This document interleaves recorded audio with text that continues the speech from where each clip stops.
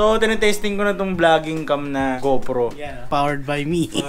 Di ba na sobrang ano lang? Di ba sobrang... yun, Sobrang no? yun, oh, dikit at dikit lang. kaibigan, di ba? Didikit Ito siya sa mukha. GoPro. ganto, ganto. Sobrang lapit. Zoom mo, zoom mo. Ano ba yan? Ito, Pagkita, ano masasabi mo, Net? Ah, hindi ko alam eh. So, yung mga minute pa rin kami sa bahay ngayon at tetestingin ko tong vlogging cam sa labas, syempre. So, wala na kaming travel ngayon at wala kaming ganap ngayon, kaya... Travel kami sa labas ng bahay. Ano ba? Ayos na ba yan? Ayos na ayos. Ah, Kicks, ayos lang ba yan? Okay na okay tayo. Tara tol, kaya tara na, let's go! Hindi mo na siya mazoom. Hindi to masusum ng ginagano, no? Oo. Iniikot ko, no? Pero pwede mo siya isum-sum. Talagang sobrang lapit na ganyan. Yan, ah, pag kinausap mo yun, ang mukhang tanga. Ano yung tinatanong mo? Sabi ka naman yung tanong mo, Bods. Tignan natin sa editing yun. mukhang tanga eh, no? pag, pag sa, sa video, okay na. Pero pag sa totoong buhay, mukhang tanga. Kinakausap mo na. Hindi kasi dapat makita nila mamaya eh, kung paano, kung bakit gano'n. Ganun na ganun eh. Ano tol, kamusta ka to? Ano pre, balita sa'yo? Ayos lang. Nakadikit ng ganun eh. Shit. Pero anyway mga kaibigan, punta muna tayo doon at let's go!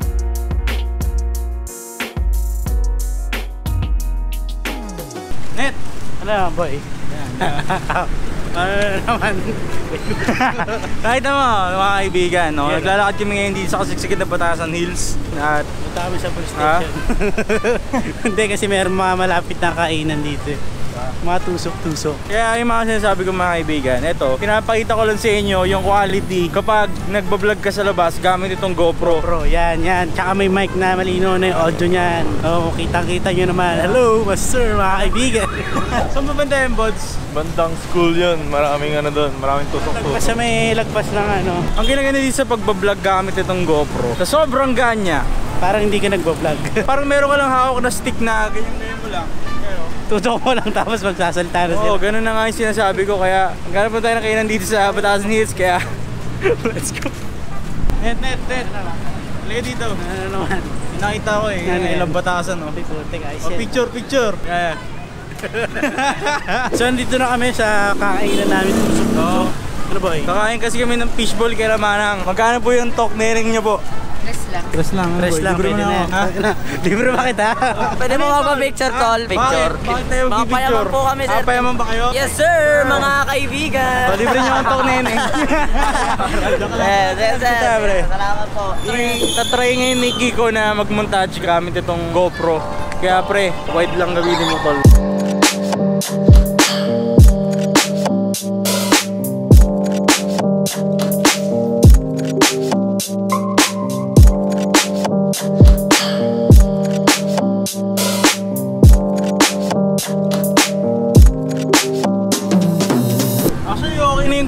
wide eh. Kasi itong ginagamit ko ngayon na feature ng GoPro na to, hindi pa siya naka super wide. Kasi pag sinuper wide ko siya, mga kaibigan, ito nakikita nyo nagdo-dangle-dangle na yan. Makikita nyo yan kapag sinuper wide ko. Pero dahil hindi siya super wide, wide lang siya. Gusto kayo dyan? Isa dito. Kaso ang problema mo nga lang, pre. Ano? Wala kang zoom. Kunyari, nasa malayo ka. Kunyari, ano ka doon. Kunyari, normal na tao ka lang dyan. Sige. Ayos ka lang ba? Ayos lang. Kailangan lumapit pa ako. Oo, kailangan ulitin mo. Medyo pero awkward, ha? mo siyang ano eh, i-zoom sa editing kasi Pwede ko siya i-zoom sa editing pero isa rin kasi ako nung ginaganon-ganon ko yung ano. ang tawag dyan, chill vlogging. chill vlogging. Lagi no, pang tamad vlogs ka no. Picturean ko kayo. Oo, bilis! Picture mo daw. Picture, picture, Oh, kuya, Picture mo, picture Miki. Ah, sige, kuya. Oh. Picture sila eh. Ayun na, ayun na. One, two, three. Thank you ba? Uy! Ano tol? Yo! Ayos mo kayo? Try, tatry ko lang monta dyan si Bods habang kumakain ng siomay. Gamit tong GoPro.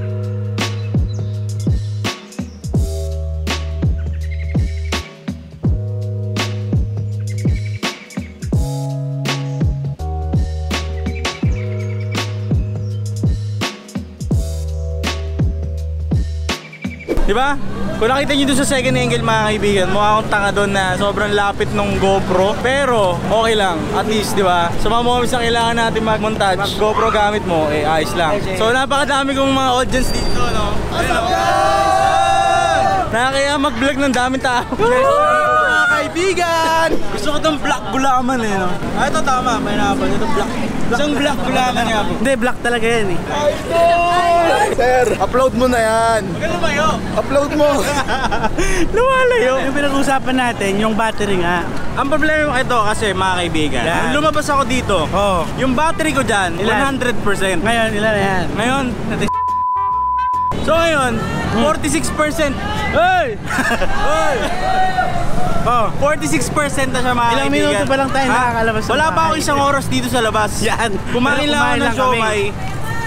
Ay man, kumain lang ako ng siomay, tsaka bumili ng inumin. 46% 46% na, yun ang problema mo Kapag Pag naka-GoPro ka. GoPro ang gamit mo. Yan. Kaya kailangan, sobrang dami yung battery. Yan. Ilan Pero ang ginaganda kasi ng GoPro, sobrang Handy. handy niya. At the same time, sobrang gaan. Hey! Hey! Hey! Parang Hindi sila nakikita. Hindi sila nakikita pero okay lang. Okay lang. Kasi pwede mo siyang i-zoom sa editing. Iya ako mag-vlog.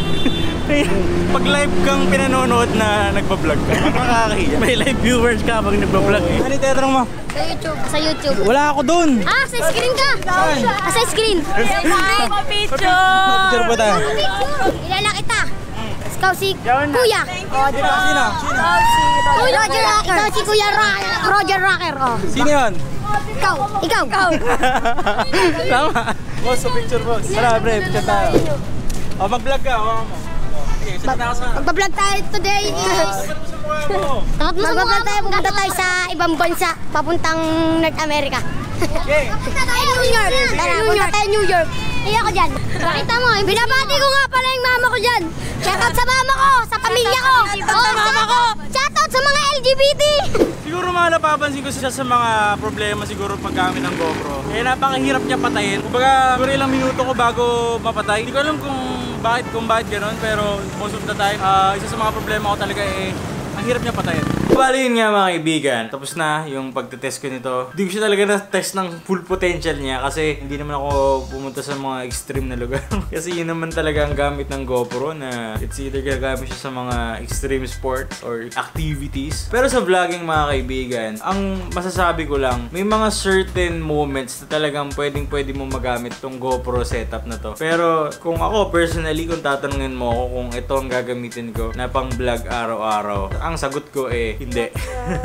Kasi, oo, komportable siya. At talaga namang sobrang gaan at sobrang wide. May sobrang, ano siya, meron siyang mga features na talagang okay na okay para sa akin. Lalo na at the same time, yun nga, super wide. Pero kung sa everyday use ko siya, parang hindi tatagal yung GoPro sa akin kasi ang bilis niya uminit mga kaibigan. Onting gamit mo lang, eh umiinit siya kasi nabababad. And yung battery, syempre isa pa yun sa mga issues. Though yung iba, ang ginagawa nila, eh naglalagay sila ng power bank dito na nakakonekta na kahit pag nakapatay, habang hindi mo ginagamit, eh nag-automatically charge. Pero para sa akin, parang dito pa rin ako old school na 700 ko. Ah, pero hindi ko kayo pinipigilan na gamitin to. At once in a while, try nyo rin na mag-setup ng ganito. Pero mas mura pa rin itong setup na 700D kaysa sa buong setup ko na to. Pero pwedeng pwede ko to magamit sa ibang mga occasions. Like yung pagod na ako gamitin tong vlogging cam ko na isa or backup cam ko sa mga places na hindi ako pwedeng makitaan ng may dalang DSLR kasi may ganun eh. Kahit sabihin natin na tanggalin ko yung mic para hindi ako masyadong mapansin, eh ayos na rin. Kasi problema sa DSLR, laging pansin na pansin na, ah, vlogger siya.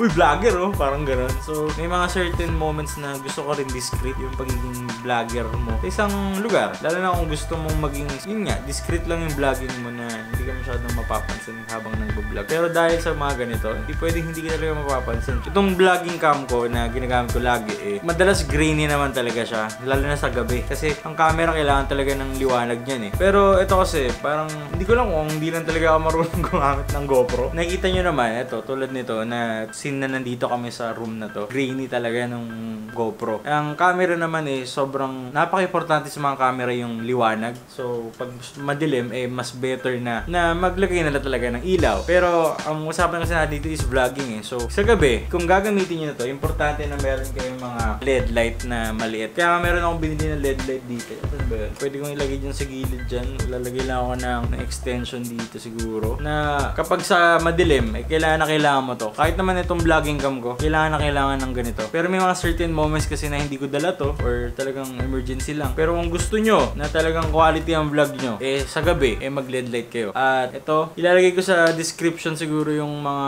brand name nito. So yun lang mga kaibigan, sa mga gusto na gumamit ng ganito, try nyo rin. Feel free to comment down below yung experience nyo. Pero itong setup na to ay sobrang game changer to sa akin. Lalo na sa mga certain occasions tulad nga ng sinabi ko. Ah, magagamit na magagamit ko to sa mga future vlogs ko. At kahit hindi man lagi, pero magagamit ko talaga. So, ayun lang mga kaibigan, dito muna magtatapos ang vlog na ito. May mga advice kayo sa akin sa paggamit ng GoPro. Feel free to comment down below. Para, syempre, maliwanagan din tayo sa mga pwede natin magawa pa sa gamit ng GoPro nito. At yun lang mga kaibigan. Ah, sana makagawa pa ako ng mga ibang tutorials. Gusto ko gumawa ng tutorials na sobrang informative. Ah, ngayon medyo sobrang sabaw-sabaw lang. Pero gusto ko lang kasi ikwento sa inyo kung ano ba experience sa paggamit ng GoPro. At siguro sa mga susunod na travel vlogs, gagamitin ko to para talaga namang mas ma-review ko pa siya ng maayos. Pero yun lang mga kaibigan. Like, comment, and subscribe and support Filipino vloggers. Share nyo video na to para sa saya. Okay? So, yun lang. Maraming maraming salamat.